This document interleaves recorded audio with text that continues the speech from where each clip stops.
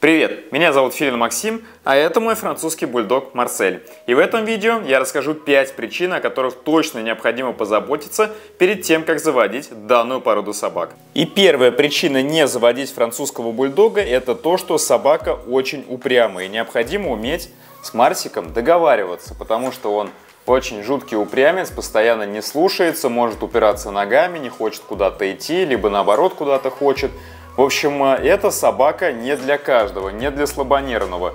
Какие-то угрозы э, различные на них совершенно не действуют. Поэтому имейте это в виду. Даже сейчас, чтобы снять Марсика на видеокамеру, мне пришлось его уговорить с помощью корма. Французские бульдоги жуткие аллергики. И для них это нормальное явление, если ему какой-то корм не подходит, либо у него чешется пузико из-за того, что он по травке побегал, какой-то шампунь ему не понравился. Для француза это обыденная ситуация.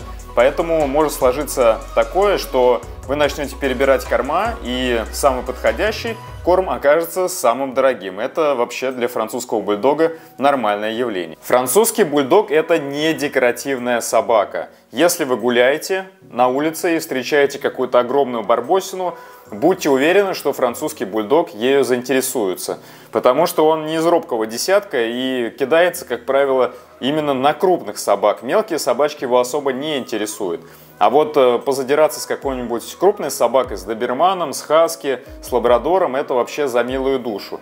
Так что французы это настоящие бойцы, не думайте, что это какая-то карманная собачка.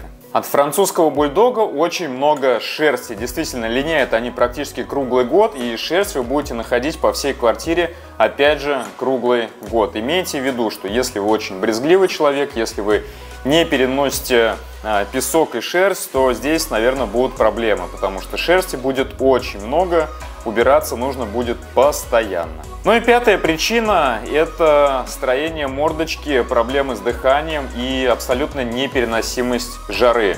Поэтому если вы в своих мечтах думали, что вы со своей собачкой будете бегать по речке, будете брать ее в различные путешествия, будете совершать пробежки, да, как некоторые бегают с собаками – то это совершенно не для французских бульдогов.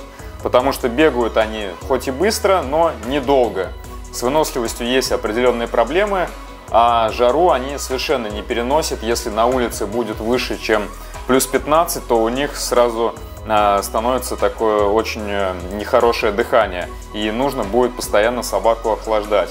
Поэтому летом а, собаки, французы, как правило, дольше 15-20 минут на улице вообще не находятся, и их нужно будет постоянно купать. Это были 5 причин не заводить французского бульдога, но если для вас эти причины вовсе не причины, то обязательно заводите эту собаку. Собака очень хорошая, отличный компаньон. Есть отдельное видео, где я рассказываю не только про минусы, но и про плюсы французского бульдога. Обязательно его посмотрите. Если видеоролик был полезен, поставьте лайк, подпишитесь на канал. Ну а мы с Марсиком пойдем готовить для вас следующее видео.